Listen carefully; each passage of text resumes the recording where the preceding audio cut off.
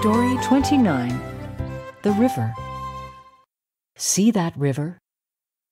Do you know where it's coming from? From the mountains far away. In the mountains, the river was small. Soon, little rivers came into it. It got big, and then it got bigger. Where is the river going? To the sea far away.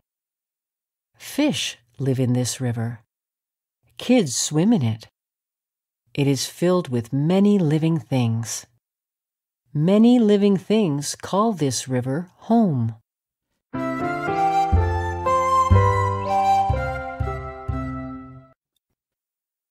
Home, sweet home.